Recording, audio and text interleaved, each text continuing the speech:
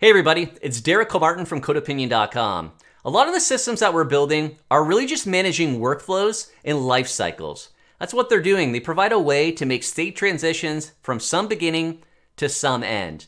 The trouble comes along is that kind of business rules change and things evolve over time, and these rules are likely littered, kind of sprinkled all over our code base, including the front end. And the problem there is oftentimes the front end is kind of implying what these rules are based off the state. Here's how we can avoid that. Speaking of state transitions, I'd like to thank EventStore for sponsoring this video. EventStore DB is a new category of operational database built for event sourcing, CQRS, and event-driven microservices. For more on EventStore DB, check out the link in the description. So I've created a really simple example just using a toaster. Here's the open API. I'm just gonna show there's only only kind of four operations that you can perform.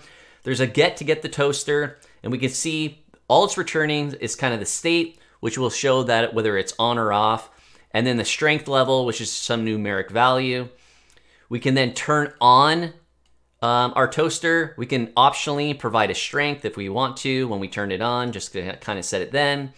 We can actually just uh, set the strength at any given time and we can change it. And then lastly, we can actually turn off the toaster. So it's really just a couple operations kind of our state transitions is really only two, it's just kind of on and off. Now you've probably integrated with a third-party API just like this, reading the documentation, looking at their open API spec, whatever the case may be. You're implementing it, but you're really looking at that documentation and understand, okay, well, here's the operations I need to perform. Maybe there's some state transitions that happen here, but what is appropriate when? When can I call when, where? There's obviously rules behind the scenes that if I call one inappropriately at in a time where the state doesn't allow for it, it's going to return me some type of error. But how do you know all this besides just reading the documentation? You don't, and that's because everything you're doing is at design time. When you're writing the code, you're reading the documentation, you're deciding, okay, this is the order of operations I need to make in these calls. But that is very limiting because now on the API on that server side, if it evolves and kind of changes the workflow or the rules, you also now have to update your client. So looking at these four very simple operations, I've already defined rules around that you can't turn on a toaster that's already on, you can't turn one off that's already off, but you can set the strength at any given time. So if you're developing kind of your client and you're gonna say, okay, well, I know that when I fetch the state, that if the state says on, then I can allow them to turn it off and vice versa. So we're only going to let them perform the action that we know is going to be um, operational. That's actually going to work given the state of the system. So just as a quick example in Postman, if I get the state, I can see we're off with a strength of six. I can then go ahead and turn it on. Now we're on with a strength of six. I could actually just go change the strength. Let's turn it to five. Now we're there. And then I could, if I just fetch it again, we can see, okay, we're on at five. And then I can go and turn it off. And now we're off. But as I mentioned, we can't turn it off again because we're already off. Same thing with on. Okay, we're on now, it's fine, but I can't call it again because we're already on. But what typically happens, as I mentioned, is that we start looking at the state of the system and those responses say, okay, yeah, I can perform this operation. But that's based on design time when you're reading the documentation at that time. That's not to say that it's always gonna be that way. So if you build out your client or your UI based with this knowledge and based on the state, of how you were doing it at design time, that means that your UI might only allow them to turn on the toaster if its current state is off, and vice versa, if it's off, on.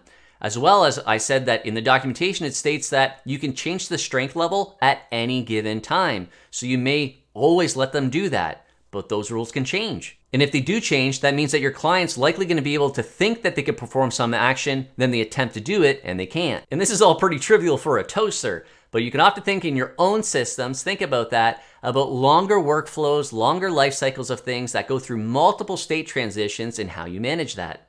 And a solution to this is just to be explicit because what we were doing before is implying based off the state, based off the documentation at design time, rather we can be explicit at runtime. So here was the old request. We would have to look kind of when we were writing code saying, okay, well, if the state's off, then we can call the turn on operation. Rather, be explicit at runtime so that we can tell it, here's the operations you can perform now given the state of the system. So we can see that we have the operation ID of strength, we have some href with the URI of what that operation is to call it, and the same thing to power on.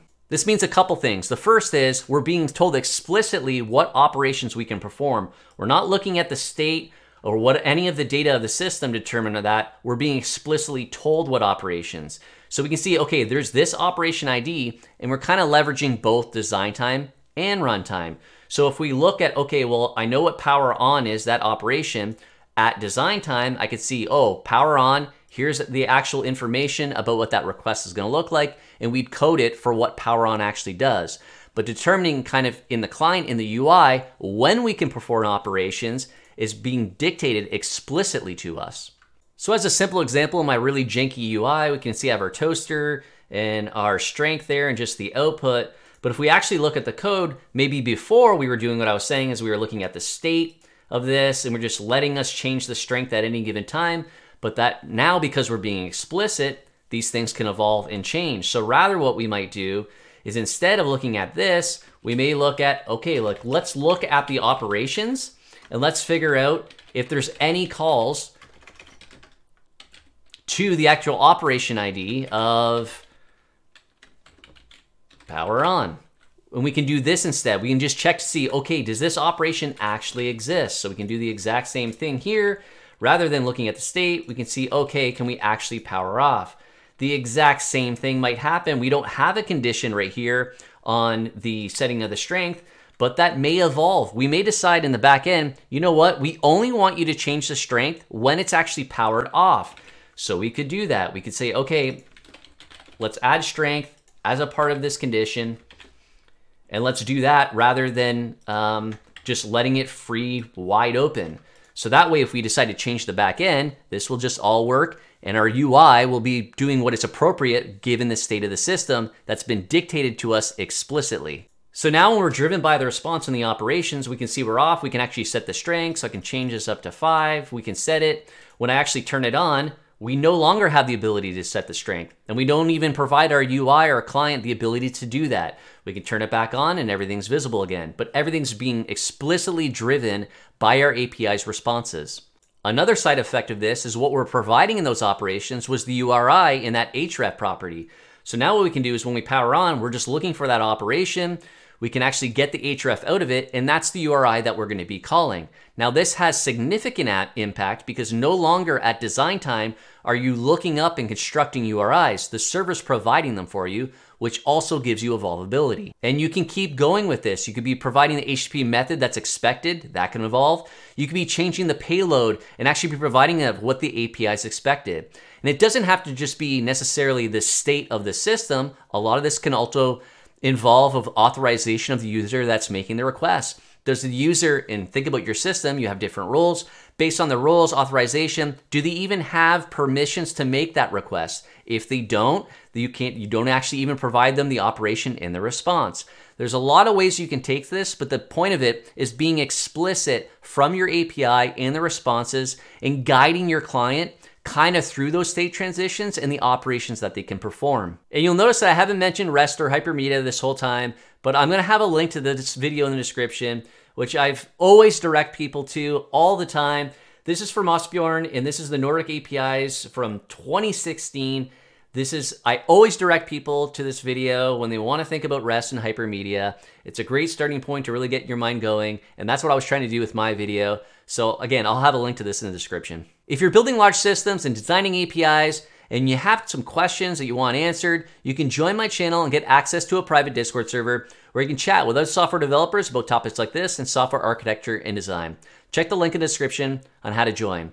If you found this video helpful, please give it a thumbs up. If you have any other thoughts or questions, make sure to leave them in the comments. And please subscribe for more videos on software architecture and design. Thanks.